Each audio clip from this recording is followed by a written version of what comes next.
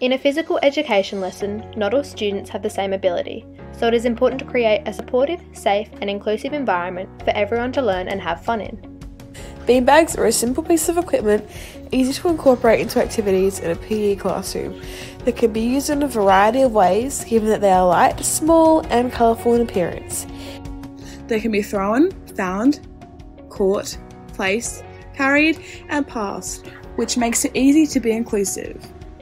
Here is a simple passing game that develops fundamental movement skills of throwing and catching, which is important and inclusive for all students and their abilities. Target throwing is a simple way to start using fundamental movement skills of throwing and accuracy in a creative way. It can be completed in many forms, with a stationary target to begin with, and a moving target when they feel comfortable doing so. This also develops coordination. Many people can use beanbags to practice their accuracy, including those with limb impairments, hearing, and cognitive difficulties. Shot put can be adapted using beanbags to allow technique to be developed without added difficulty from proper equipment.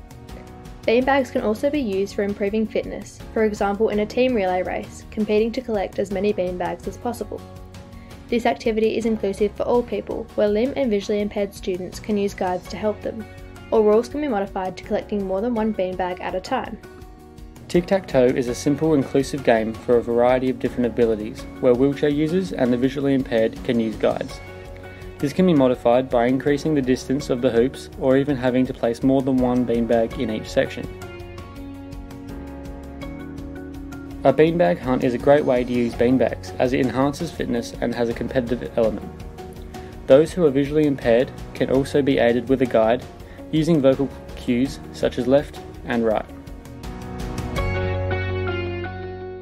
In summary, beanbags can be used in many activities to provide a positive, supportive, and safe experience, including for those who do happen to be disabled.